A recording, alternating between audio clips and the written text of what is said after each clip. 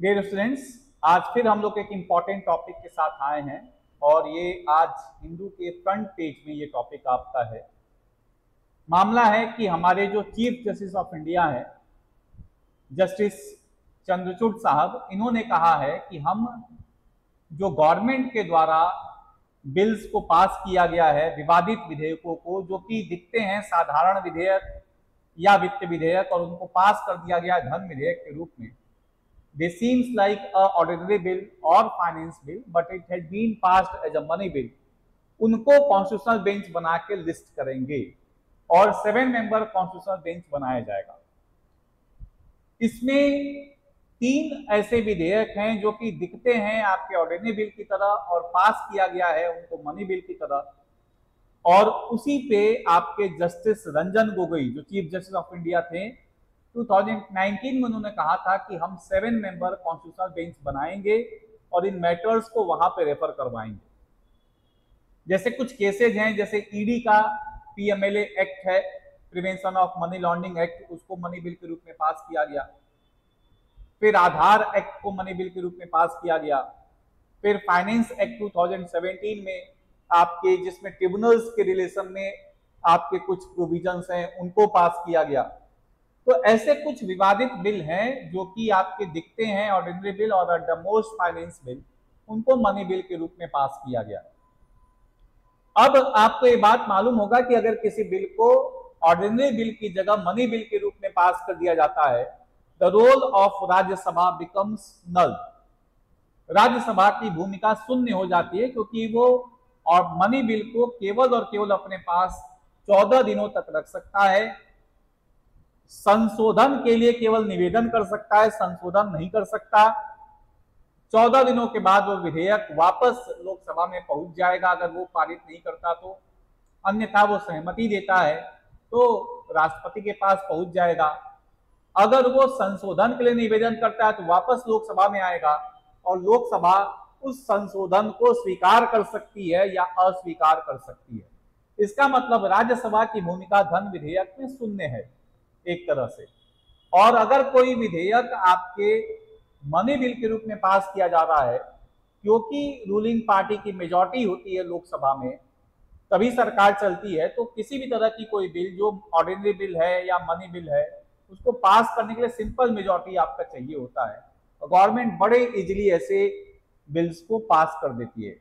इसलिए ये कहा जा रहा है कि अगर गवर्नमेंट किसी बिल को मनी बिल के रूप में पेश करती है तो वो जो पार्लियामेंट की रोल है स्पेसिफिकली जो राज्यसभा की रोल है, उसको बाईपास कर देती है। अब आपको ये जानना है कि किस केस में ये मामला आपका आया। तो एक केस है Roger Matthew versus South Indian Bank Limited Roger Matthew versus South Indian Bank Limited 2019 में chief justice of India Ranjan Gogoi ने कहा था कि इस मामले में हम एक कॉन्स्टिट्यूशनल बेंच क्रिएट करेंगे और सेवन मेंबर कॉन्स्टिट्यूशनल बेंच होगा। उस सेवन मेंबर कॉन्स्टिट्यूशनल बेंच का जो भूमिका होगा, वो ये होगा कि एनालाइज करेगा कि गवर्नमेंट जिन बिल्स को मनी बिल के रूप में इंट्रोड्यूस कर रहा है, क्या वो सही है या नहीं? अब कुछ पॉइंट्स आपको समझने हैं। एक तो आपको ये मालूम होगा कि बिल्स कितने तरह के होते हैं। तो अगर आप बिल्स की बात करिएगा तो बिल्स कई प्रकार के आपको विधेयक देखने को मिलेंगे। एक आपका मिलेगा, एक मिलेगा आपका ऑर्डिनरी बिल जो आर्टिकल 107 में दिया गया है। एक है आपका मनी बिल जिसका पैसेज का तरीका 109 में दिया गया डेफिनेशन दिया गया 110 में। एक होता है अप्रोप्रिएशन बिल जो कि फॉर ऑल प्रैक्टिकल पर्पज एक बजट में इंट्रोड्यूस होता है। और ये आर्टिकल 114 में आपका मेंशन किया गया। इसको फॉर ऑल प्रैक्टिकल पर्पज आप मनी बिल ही मान सकते हैं। फिर एक आपका बिल होता है फाइनेंस बिल जो आर्टिकल 117 वन में बताया गया है और आर्टिकल 117 थ्री में बताया गया है। ये फाइनेंस बिल वन टाइप है, ये फाइनेंस बिल टू टाइप है। और फिर एक और बिल होता है जिसको आप कहते हैं कॉन्स्टिट्यूशनल अमेंडमेंट बिल जो आर्टिकल 368 में बताया गया है। अब हर बिल की अपनी खूबियाँ हैं, हर बिल के अपने तरीके हैं पैसेज होने के, और किसी बिल में सिंपल मेजोरिटी चाहिए, किसी बिल में स्पेशल मेजोरिटी चाहिए, किसी बिल में ज्वाइंट सिटिंग नहीं हो सकता, किसी में ज्वाइंट सिटिंग हो सकता है। एक छोटा सा इंट्रोडक्शन बस देख लीजिए। जैसे अगर आप बात करिएगा तो कॉन्स्टिट्यूशन अमेंडमेंट बिल में ज्वाइंट सिटिंग नहीं हो सकता। इसको पास करने के लिए आपको स्पेशल मेजोरिटी की ज़रूरत पड़ती है। Finance bill one type two type दोनों में ज्वाइंट सिटिंग हो सकता है और पास करने के लिए इसको सिंपल मेजोरिटी चाहिए होती है। मनी बिल को पास करने के लिए आपको सिंपल मेजोरिटी चाहिए होती है ज्वाइंट सिटिंग नहीं हो सकता।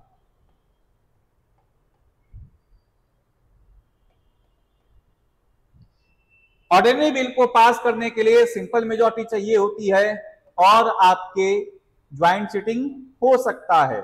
इसमें राज्यसभा की भूमिका नहीं होती है, नगण्य होती है। चौदह दिनों तक ये केवल बिल को अपने पास रख सकता है, बाकी हर केसेज में राज्यसभा की भूमिका होती है। चाहे फाइनेंस बिल वन हो, चाहे फाइनेंस बिल टू टाइप आपका हो। और सिंपल बिल में, आपके ऑर्डिनरी बिल में तो ज्वाइंट सिटिंग होगी कॉन्स्टिट्यूशन अमेंडमेंट बिल में कोई ज्वाइंट सिटिंग नहीं हो सकती। दोनों बिल्स को सेपरेटली जो जो कॉन्स्टिट्यूशन अमेंडमेंट बिल बिल है, इसको दोनों हाउसेज में सेपरेटली स्पेशल मेजोरिटी से पास करना पड़ेगा। तो गवर्नमेंट अगर किसी बिल को मनी बिल के रूप में पास करता है तो ये बात आपको देखने को मिलेगा कि राज्यसभा का जो रोल है, वो मिनिमम हो जाता है। तो जो राज्यसभा कंस्ट्रक्टिव अपोजिशन का काम करता है गवर्नमेंट की अकाउंटेबिलिटी क्रिएट करता है, क्योंकि मैक्सिमम टाइम गवर्नमेंट का लोकसभा में बहुमत होता है, राज्यसभा में बहुमत नहीं होता। इस वजह से गवर्नमेंट की एक्चुअल अकाउंटेबिलिटी राज्यसभा में ज़्यादा इंश्योर होती है एज कंपेयर टू लोकसभा, क्योंकि लोकसभा में तो उसके पास मेजोरिटी है ही, तभी सरकार आपकी चल रही है।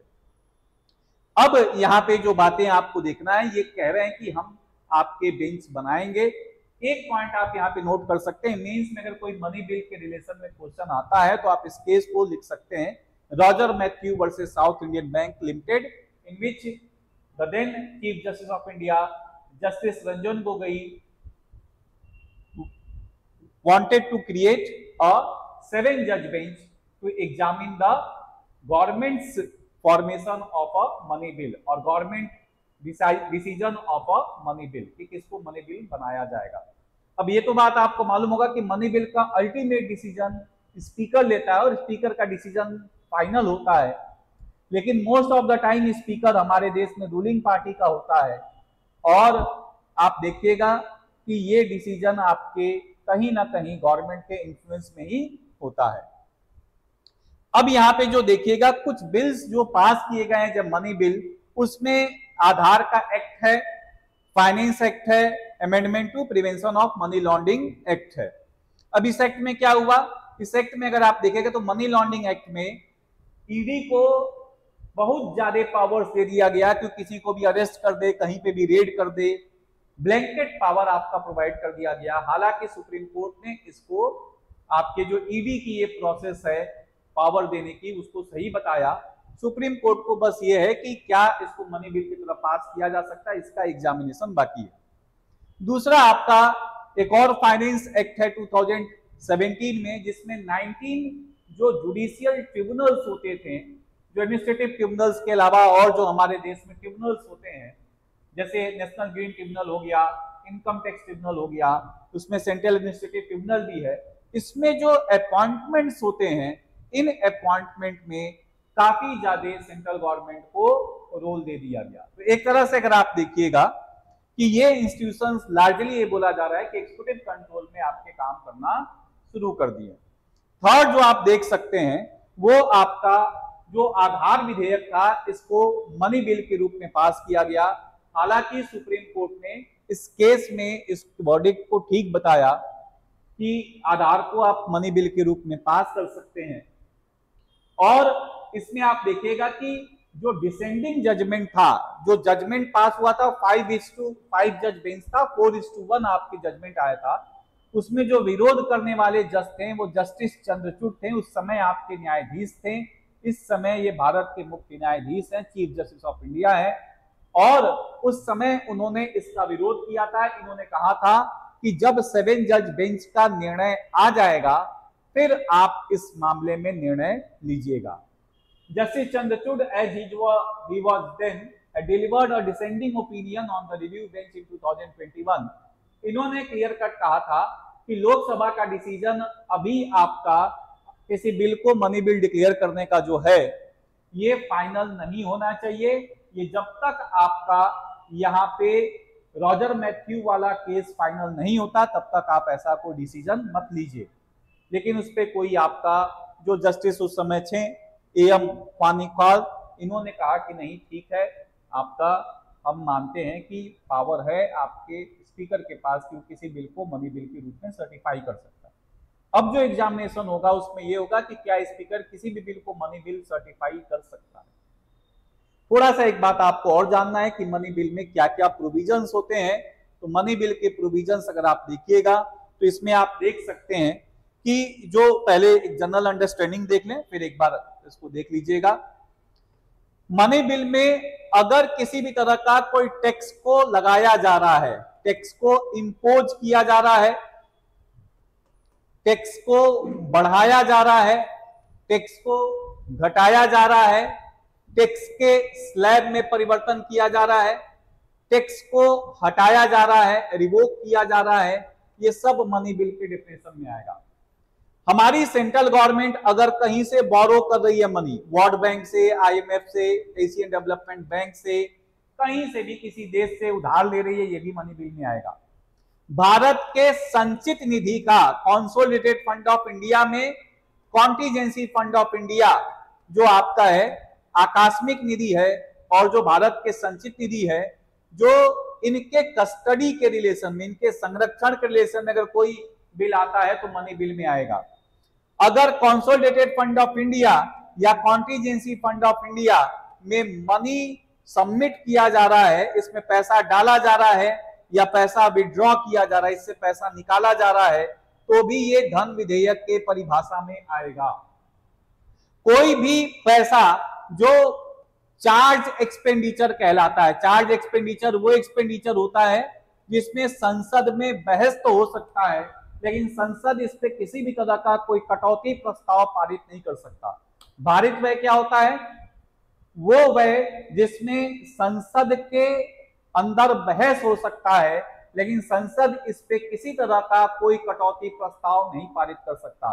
Parliament can only discuss, but cannot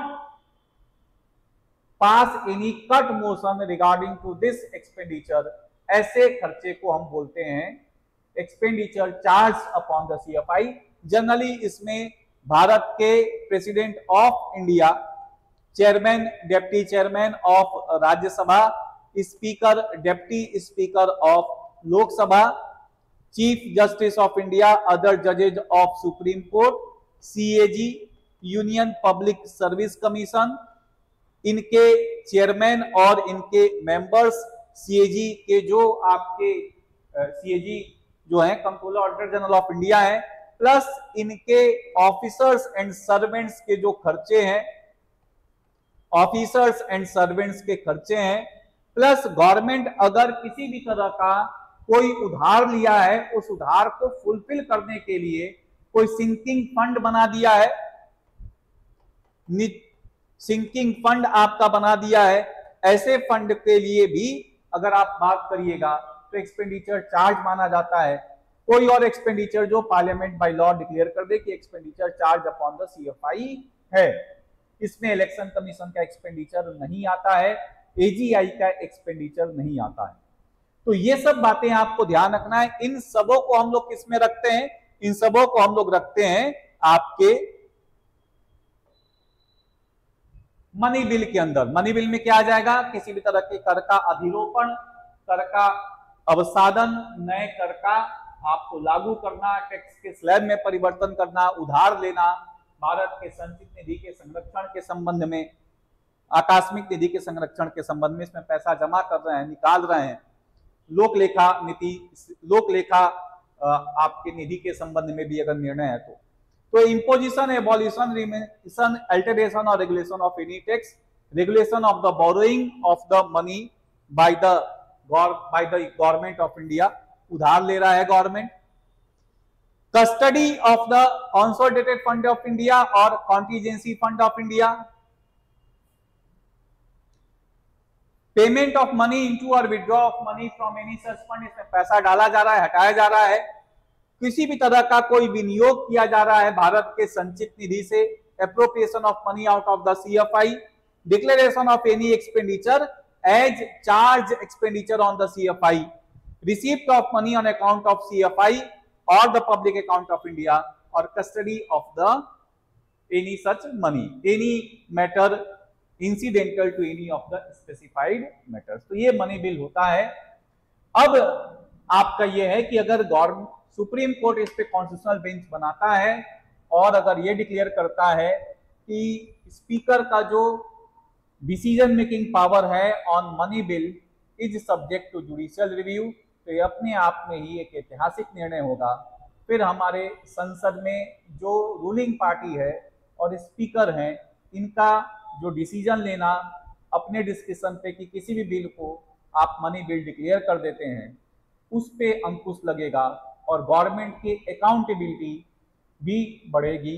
Rajya Sabha की भी पावर्स आपकी थोड़ी बहुत देखने को मिलेगा कि इससे आपका ठीक रहेगा, क्योंकि सारे बिल्स को आप ऐसे जिसको आप ऑर्डिनरी बिल के रूप में पास करना है, उसको आप मनी बिल के रूप में पास नहीं कर सकते। तो आज के लिए इतना ही। फिर नेक्स्ट क्लास में हम लोग मिलते हैं और फिर किसी इंपॉर्टेंट करेंट अफेयर्स के टॉपिक के साथ मिलेंगे।